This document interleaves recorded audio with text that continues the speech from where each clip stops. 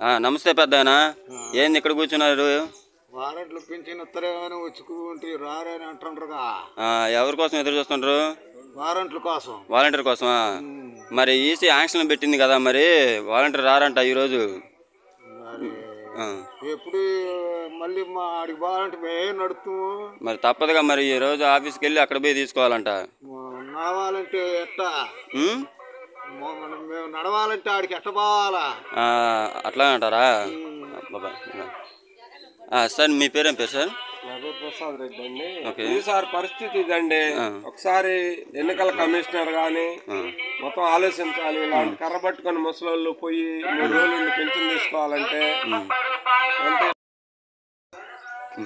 ఇది పరిస్థితి ఇట్లా ముసలోళ్ళు కర్ర పట్టుకున్న ముసలోళ్ళు పెన్షన్ తీసుకోవాలంటే సచివాలయం దగ్గరకు పోయి మూడు రోజులు పట్టింది రేపు. మూడో తారీఖు నుంచి అది ఏడో తారీఖు వరకు పట్టింది ఎండల్లో ఇట్లా తీసుకోవాలంటే అంత ఇబ్బంది? అందువల్ల ఆలోచించి ఈ నిర్ణయాన్ని మళ్ళా పునరాలోచించుకోవాలని చెప్పి మనస్ఫూర్తిగా కోరుకుంటున్నాను.